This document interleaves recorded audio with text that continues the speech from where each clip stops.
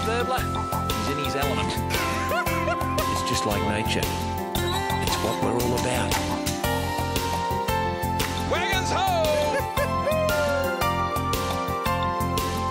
Have a look at that! Just when they think it's safe to come out. Not an animal! Bang! I guess in the end, that's probably why we all go fishing.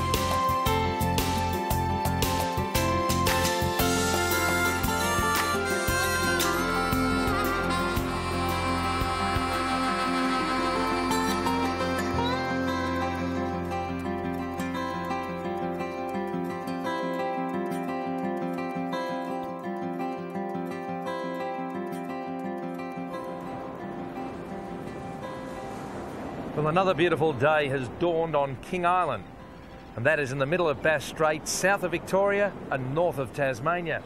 And here is Naracoopa. Now, it's on the eastern seaboard, and believe it, don't go looking at me like that. This is Rod Fisher. That's right, fishing rod, fisher man. And I tell you what, you're a local, and you just love this joint, don't you? It's a Beautiful place, Rex. Why, why is it such an attractive place for you as an angler? Such a diverse array of coastline and opportunity to fish so many different species, so many different sort of areas. Due to the fact of the island, if wind's coming in from one way, then we've got the opportunity, we'll go around to the other side of the island, get a nice bit of shelter, and away we go. So So no matter where the weather's coming from, there's always a windward and there's always a lee, and I tell you what, that is just sensational. Now, today, you've made a big effort, you and the crew, to put something together for us, and what have you got? Well, hopefully, Rex, we're going to go up here around the corner into Fraser Bluff. There's a nice deep channel there and about 19, 20 metres of water. We'll have a few little drifts through there and see how we go. We're getting a few gummy shark, a few snapper, a few flathead out there as well. So I reckon that's the first point of call. Well, it sounds like bread and butter fish, and that's what we're all about because everyone can do this. You can come down here and you can drift for gummies and you can drift for snapper and you can catch the humble flathead, which is still one of my favourite eating fish. Rexy and Rod Fisher. Yeah, I'm serious. It'll be a fantastic day.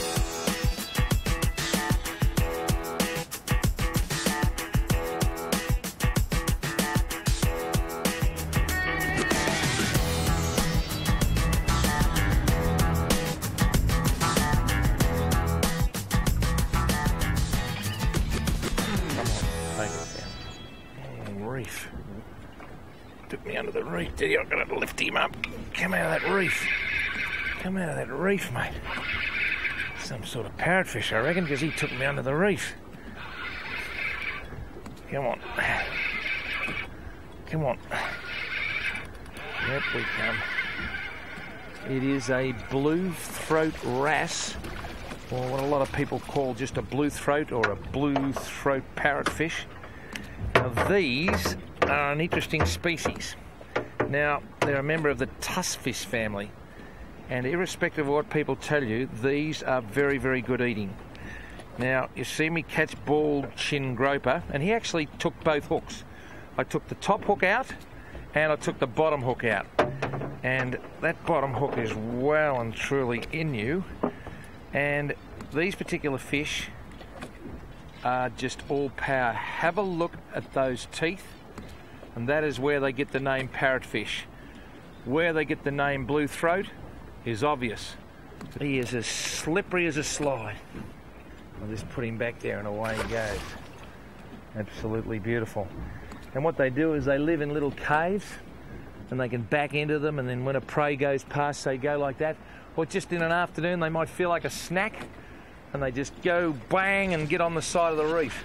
Yep, we've got a flathead here, Rex. Good. Lift him in. Oh, he's a nice fish. He is a nice fish. Now, I tell you what, that's uh, that's 700 grams of beautiful flathead, a beautiful eating fish. Sand flathead.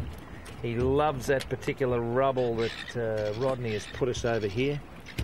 And just stop kicking, mate. We might just roll you over on your stomach and tickle you. And just grab him like that. That's the way to grab a flathead. Let mum or dad show you. And then you can just lift that out of there. Look at that, look at those spines. Now, he is the master of disguise. He can get down there and just blend in with the rubble, and they are like a Murray cod. They look very, very docile, but when a feed comes around, they're like me, folks. So what I'm going to do is I'm going to give him to Rod, and Rod can fix him up because he's going back and in the frying pan. And I tell you what, I'm a very, very docile fella, and I know that I'm watching this at home as we speak. And I've said to Lynn, oh, there's someone at the door. So she's at the front door now because I knew when it was coming up. And it's just like me. I'm a little bit docile. But I tell you what, at 8 o'clock in the morning, King Island Bakery. Lamingtons, low fat, no cholesterol. Bang. One, boy.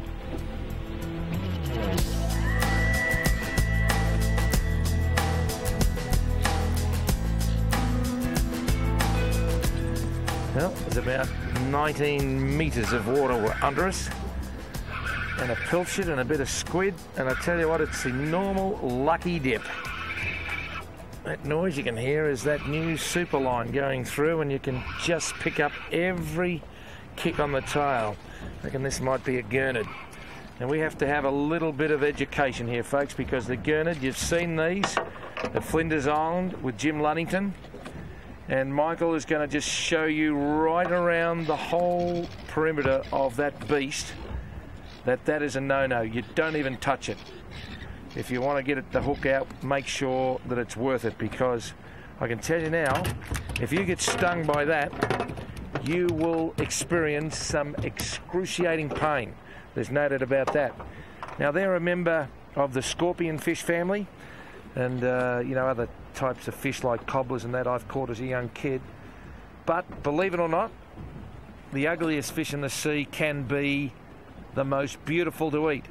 And the firm white flesh of the gurnet is fantastic. But the old gurnet, he's the old vacuum cleaner of the sea, he'll grab anything. Just like this bloke grabbed a piece of squid.